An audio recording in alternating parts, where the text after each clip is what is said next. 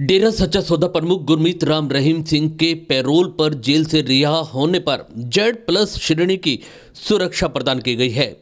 खालिस्तान समर्थक कार्यकर्ताओं से उनकी जान को खतरा बताया गया है। आपको बता दें कि इसी महीने की शुरुआत में उन्हें पैरोल पर रिहा कर दिया गया था। अब उन्हें शीर्ष स्तरीय सुरक्षा कवर देने का हरियाणा सरकार का फैसला सामने आया है।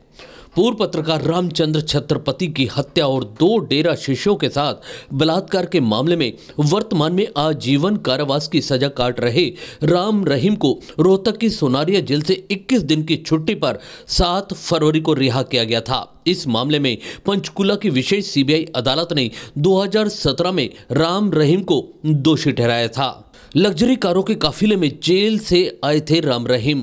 पैरोल मिलने के बाद राम रहीम रोहतक जेल से लग्जरी कार में कड़ी सुरक्षा के बीच शाम पाँच बजे गुरुग्राम पहुँचे थे। छह गाड़ियों के काफिले में पुलिस की गाड़ियाँ भी शामिल थी।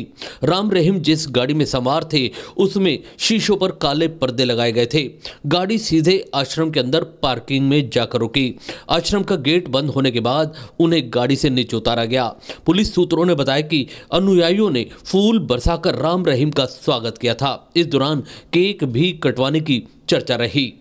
जेड प्लस सुरक्षा सुविधा की अगर बात करें तो सरकार सुरक्षा एजेंसियों द्वारा किए गए व्यापक खतरे के आंकलन के आधार पर किसी व्यक्ति को सुरक्षा विवरण प्रदान करती है। भारत में X, Y Y plus, Z और जेड प्लस की सुरक्षा दी जाती है।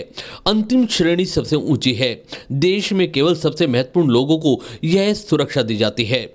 इन श्रेणियों के अलावा एसपीजी यानी विशेष सुरक्षा समूह, केवल प्रधानमंत्री और उनके परिवार के लिए होती है। जेड प्लस श्रेणी के लोगों को मोबाइल सुरक्षा के लिए 10 और निवास सुरक्षा के लिए दो सुरक्षा कर्मी मिलते हैं।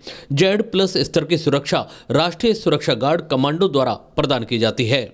Press the bell icon on YouTube and never miss another update.